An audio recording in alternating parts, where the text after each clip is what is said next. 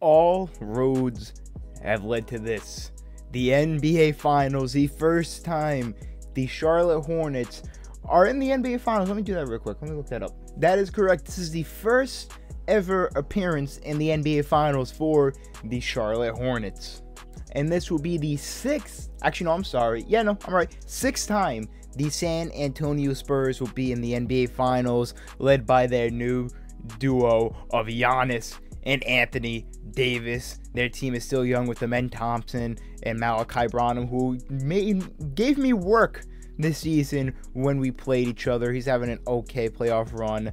Giannis, not scoring much, but he's shooting 42% from 380, only scoring. Wow, who's doing all their scoring? I guess it's just a balanced effort. But yep, the Hornets in the finals for the first time, the Spurs in the finals for the sixth time. The Spurs looking for, I believe, will be their sixth championship in franchise history. The Hornets looking for their first. And we actually get home court advantage in these finals. We have the same record, the Spurs and the Hornets, but I assume we have the tiebreaker over them in the regular season. Actually, we might have split the regular season because we lost to them once. We won the second time, so it must be conference or division record. And here we go, the jump ball. I did make another rotation change to start this finals. Nick Richards is getting the nod at center. Ayton will be tasked with trying to slow down Giannis as LaMelo Ball already doing what he usually does best. Ayton misses his first shot. So yeah, I put Richards at center because he's going to have the better defense in the shot blocking to try and guard AD. And Ayton is going to be playing power forward to try and slow down, and Ayton's a better perimeter defender than Mr. Nick Richards. And right there, uh, ain't a good start. Ain't a good start at all.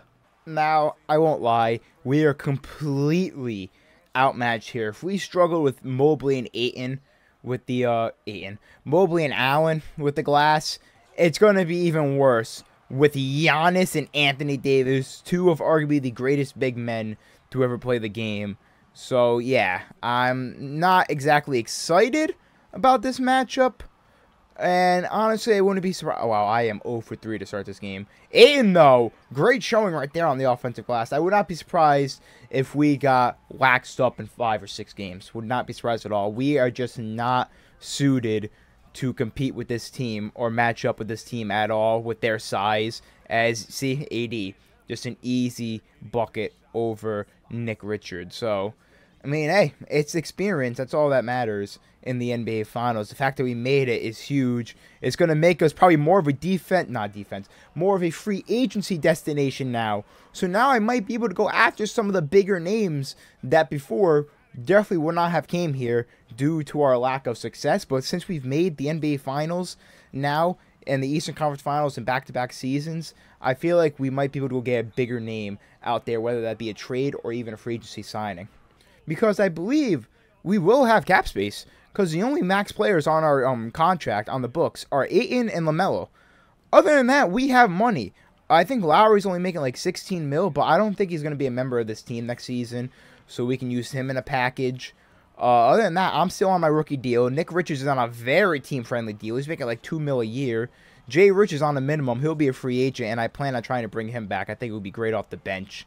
Um, but yeah, we need an upgrade at power forward, and we need an upgrade at small forward for next season. Mainly a defensive power forward uh, to try and help Ayton a little bit, as Richardson misses that one and probably more of a scoring, slashing, actually, no, probably a spot up shooting small forward. Cedric Lewis has been on it tonight, and that's going to continue. 15 first quarter points. The Spurs need a timeout. 10 seconds left. Spurs looking to get the last shot of the first quarter. We have a seven point lead so far. I was trying to bait them into passing it, and they did not. As we are going into the second quarter with a seven point lead, you would think that um, ESPN, you know, with their amazing percentages, giving the Heat a 3% chance to beat the Celtics, they would give most of the odds, I feel like, would be in the Spurs' favor to win this series. Just with their back, I mean, their front court and how much we struggled against the Cavaliers as I get subbed out. You would think the Spurs are the heavy favorites, and I would, I'm going to assume that in this fictional universe we live in. And the Hornets, up by five, scoring off of assist and in the paint, have just been dominant in this game, and it's going to continue. Cedric Lewis with 17. Oh, what a steal! I don't know how the hell Buddy Hield thought he was getting that pass off. Oh, he's throwing the lob to Lewis. It's good. 10 point lead for the Hornets. 21 point first half so far for Cedric Lewis, trying to make his case to win his first ever championship and uh, finals MVP. But their rookie, I don't know how to say his name, Ristic, knocks it down in the corner, cuts the lead back to seven. I mean, the Spurs are hanging along in here in this game. Eight, and this should be easy buckets for you or not. You know, it's fine. I'll, I'll throw you in the post. You'll take a dumb post fadeaway like your Kobe. Uh, back him down, please. Back him down, please. Ayton, what are we doing? There you go. Back him down. Use your strength. Easy lay. Nine-point lead. And what has been our strong suit in this game, which I would never have expected, has been our interior defense. Nick Richards has had it locked down. I've had the perimeter locked down. Whoever I'm guarding has not really been able to get any threes off. I don't think I've allowed one three as I get a block. I don't think I've allowed one three. Nick Richards had that paint locked down as I get blocked. Always, most of the time. Tyus Jones is running towards me for some reason. It don't matter. I'm going right into the right, uh, the paint. 13 point lead. Nine seconds left. They inbound it to Buddy Hield. I feel like I should have got the steal there. Buddy Hield five, four, three, two, one. Gets a shot off. Way off. Up by 13. I have not allowed a single three-pointer so far in this game. As we start off this second half with the Malachi Branham bucket. It's only his second point of the game. He's two for eight. Uh, Cedric Lewis has yet to get any rest in this NBA Finals game, which I am all for, as he knocks down another three. Cedric Lewis is unstoppable right now, shooting about 60% from the field, 14 point lead, and he has yet to sit in this NBA Finals game, and that is going to be the first three I give up. No, it's not! Malachi Branham misses the wide open three, and the Hornets have a chance to extend their already large lead. LaMelo Ball, he's going to get a decent looking shot, but it's off. He is our second leading scorer. LaMelo's got 11 right now in this game, which is huge, as, ooh, I should have got that steal. And these Spurs just have no answer right now for this Hornets offense. Malachi Branham is 3 of 11. He is ice cold. They can't get anything going on offense. Their only hope right now is that right there, I guess, drawing a foul. If I was guarding him, that ain't foul. Just an FYI. But Jay Rich wanted to switch. I gave him it. And let's not forget that Malachi Branham dropped 30 on me in our first meeting in the regular season. And now he's got, I think, six points in this game on 3 of 11 shooting.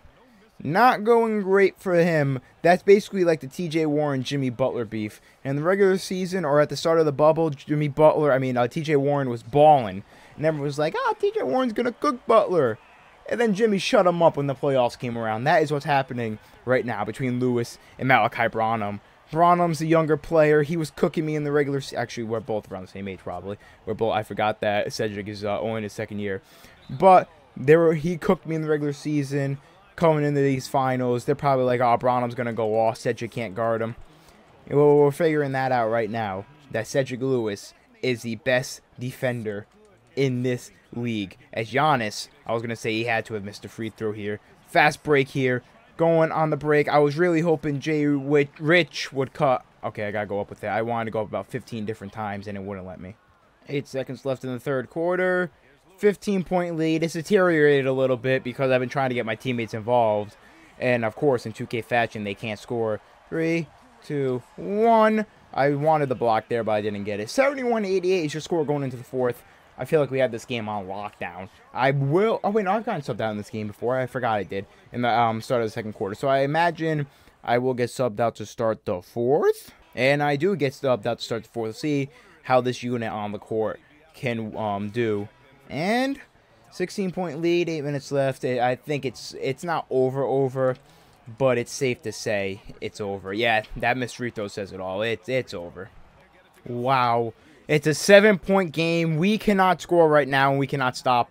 There's no way he hits that. Oh, my God. They just cut the lead to four. They just cut the lead to four. LaMelo has missed like four wide-open shots. Oh, this is about to be an ultimate collapse. This is about to be an ultimate collapse. Why is Ayton right there? Why is Ayton right there? And then LaMelo goes over there, too. And I missed another layup. I missed another layup. There is no way. No, no, no, no, no. This cannot happen. Why did I get switched to AD? Why did I get switched to AD? Nick Richards. Uh, it's, it's over. It's over. Great defense, LaMelo. Two-point game. Two-point game. What has happened? What has happened? Why do you guys keep going in the direction I want to run? Then Ayton's going to set up shop there. I have no stamina. No stamina whatsoever. I'm about, I'm about to go back court. I'm about to go back court. Ayton, please, for the love of God. Thank you. Oh, down court. Who? No one's guarding Giannis. And then Malachi Branham's wide open in the corner. He missed, though. He can't hit anything. He can't throw a rock in the ocean right now. I'm sitting on this ball. I'm sitting on it. Going under a minute. All right, Nick Richards, you were taking way too long to set a screen. LaMelo, bad shot. You hit that, but you can't hit a wide open three, LaMelo. Wow, bro. You are the weirdest player I've ever played with. There's honestly no reason why it should even be this close right now. No reason. No reason why it should be this close right now. Nick Richards, defense, defense, post fade.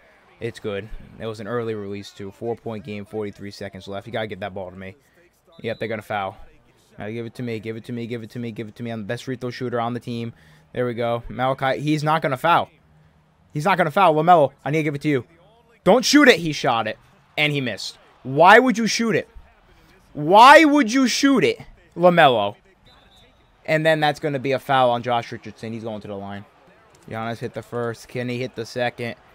He does. Of course he does. Yeah, it's Giannis. Yeah, yeah. Giannis is known for give me the ball, Nick Richards. They're not going to foul. And they do.